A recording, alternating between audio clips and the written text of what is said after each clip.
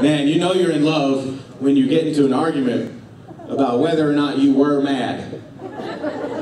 When you weren't mad. That's the worst one. It's infuriating. When somebody makes you mad by accusing you of being mad, it's a slippery slope. You're like, hand me that remote control. I don't have the remote control. It's right there next to you. No, it's not. It's right there. Oh, okay. Well, now I see it. Okay, cool. All right. All right. Turn it on. Okay.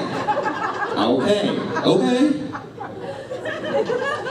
Are you mad? No, I'm not mad. I'm just saying now we can watch television. Because you look like you're getting mad. Your nostrils are flaring. Your ears are turning red.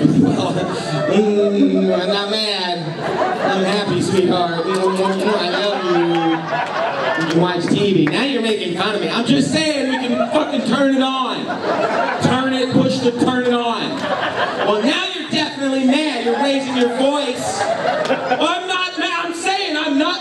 I'm not mad. Yeah, now, right now I'm mad. Right now I am. Now I, you made me mad right now. You're always mad. Ah! Garage. I'll be out here.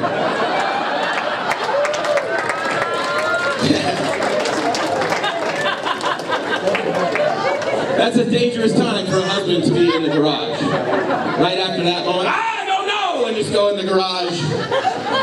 And they're feeling manly, pacing around. You got that manly instinct to fix it. How do I fix it? How do I fix it? We look around at our tools, we see like some rope and a shovel.